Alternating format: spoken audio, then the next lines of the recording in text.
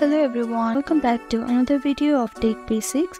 In this video, I'm going to guide you through step-by-step -step process on how to download Duolingo app on your PC. If you are Mac user, first open your App Store.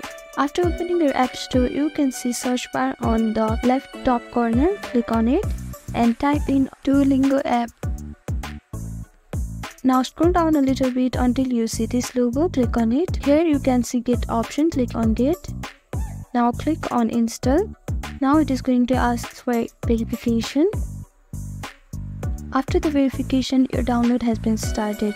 It may take some time depending on how fast your internet is. After your download is completed, you can see open option here. Click on open and here you have successfully downloaded Duolingo app on your PC. Thank you for watching this video. I hope this video was helpful to you. Please do like, share and subscribe to our channel. And don't forget to comment down below. Thank you.